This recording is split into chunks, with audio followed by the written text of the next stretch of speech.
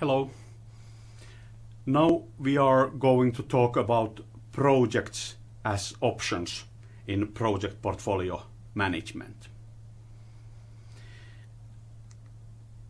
And I try to connect the idea of how projects can be considered as options with this kind of a picture, this kind of a animated picture. Um, well, we can have a decision tree where there are decision nodes and event nodes. And when the project progresses, we don't necessarily know what kind of futures we have ahead and what is the actual outcome. And the more uncertainty there is with respect to the uh, distribution of potential outcomes, uh, the more uh, the option is worth. So, if we don't know what kind of futures there are ahead of us, we might want to invest in projects uh, by being prepared to take on uh, those uncertain futures. For example, if there are uh, several possibilities of which technology would become dominant in the market, we might want to invest in various technology development projects and be prepared for many of them. And in this way, we might uh, want to kind of buy options by initiating projects that take us uh, forward and which bring us potential value about future uh, in future business. This picture uh, is from McGrath and MacMillan's study, uh, where they uh, suggested that uh, there are um, three or four different kinds of options Uh, that we might consider uh, projects as, as being uh, based on whether there is high or low technical uncertainty or whether there is uh, high or low uh, market uncertainty in the project and its outcome. Well, the green numbers there, you don't need to mind about them very much, but they are based on uh, McGrath and MacMillan's uh, uh, instrument where they used which they used to evaluate the technical uncertainty and market uncertainty, they uh, suggested uh, a kind of a questionnaire-based approach where uh, the evaluator should answer certain questions by giving points one, two, and three, and so on. And in that way, uh, those uh, metrics would bring, uh, for example, technical uncertainty from 23 minimum to uh, 69 maximum, and market uncertainty from 20 to 60 respectively. Okay, uh, but still, low, medium, high uh, is now the scale here. And if we look at high technical uncertainty and low market uncertainty, um, where we can consider those projects as positioning options.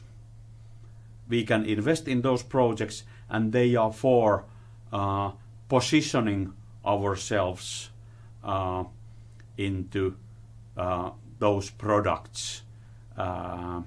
and the market uncertainty being not so high, so we really can enter enter the market and uh, bring their uh, new products and uh, be prepared for uh, selling those kinds of products in, in the markets.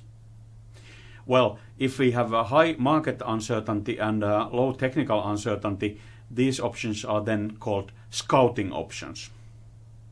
So it is not very difficult to make that kind of a uh, project. Uh, there is not too much technical uncertainty in it, but uh, because market uncertainty is high, we use those projects to try to enter those markets and learn from the markets. So that is about what scouting means.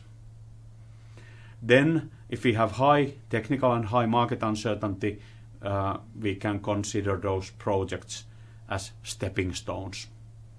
We just take one step at a time and we learn more. We learn more about technologies and about markets, and uh, uh, we don't necessarily uh, have a bigger aim than just to uh, move forward and uh, try to understand both markets and technologies and develop uh, us in that. And then what they emphasize is that we must also recognize uh, whether the projects are not options at all, but whether we should uh, go for direct launches. So if we have medium tech technical and medium market uncertainty, then we can call them platform launches, new product families.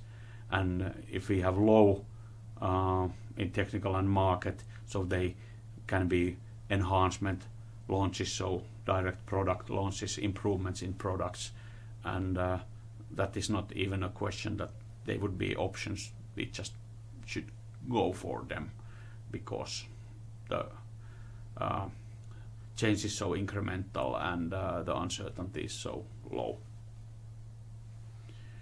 Well, Luehrman uh, presents uh, a tomato garden model to illustrate uh, the option thinking. And uh, the idea is that the gardener has uh, different areas in their toma tomato garden, different regions, region 1, 2, 3, 4, uh, 5 and 6. And uh, uh, the tomatoes in those gardens, garden regions are, are of different quality, different characteristics. And the important message here is that according to how uh, the gardener considers to invest in those tomatoes and their further gardening and uh, how he calculates the option value, he might uh, make different kinds of decisions. So, for example, in uh, region 1 there are ri ripe tomatoes, which means that invest now. Investing now means that uh, making a decision to take uh, the tomatoes and uh, bring uh, them to wholesalers or to shops. region 2 imperfect but edible tomatoes maybe now so now he should uh, think about the option about still uh, not uh, collecting the tomatoes now but um, putting a little bit more resources on developing them forward to uh, take them to uh, another status and then maybe invest uh, now. But these tomatoes can also develop to either direction, for example, from region 2 to this region 1 type of invest now ripe tomatoes, but also to uh, uh, region number 3 uh, inedible but very promising tomatoes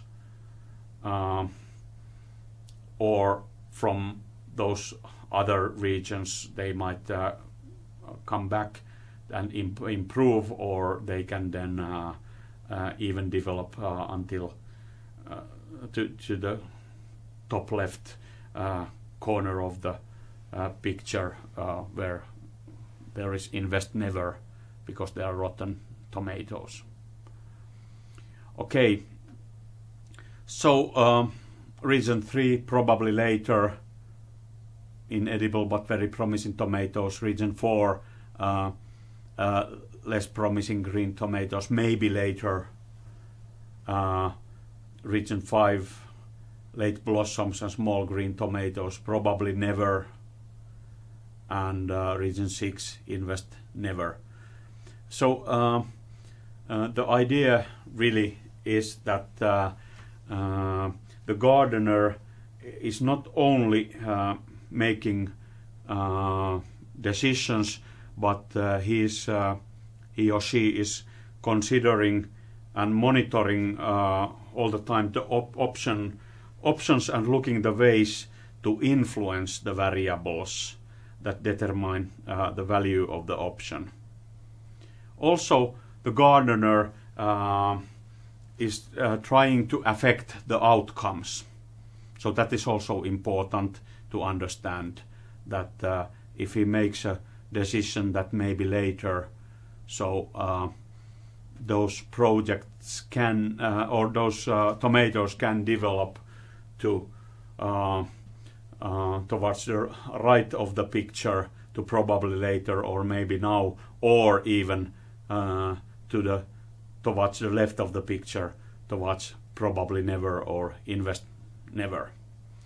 So um, this Luehrman's tomato garden model uh, was used to try to illustrate the idea of understanding projects as options. But now we have here, uh, of course, the tomatoes tomato gardens and the regions. But the idea really is to um, uh, evaluate the options and their potential future value. Okay, uh, that was all. Um, thank you for uh, being with me and uh, looking forward to seeing you in next uh, project portfolio management lectures. See you. Bye.